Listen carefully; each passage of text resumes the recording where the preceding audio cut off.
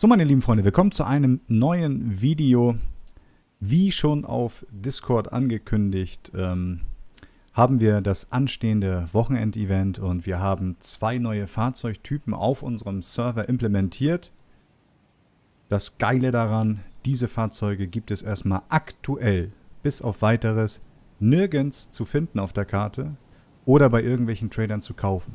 Das heißt, wenn ihr diese Fahrzeuge beim Event als Belohnung erhaltet, sind sie für euch einmalig. Hier ist der erste Fahrzeugtyp, Pickup Lada. Den haben wir in verschiedensten Versionen, in verschiedensten Outfits mit verschiedensten Anbauteilen. Dieser hier mit dem giftgrünen ähm, Toxic-Abzeichen drauf könnt ihr in dem aktuell kommenden Event jetzt am Wochenende für euch ergattern. Er ist schon komplett ausgerüstet mit allen Anbauteilen, die es gibt.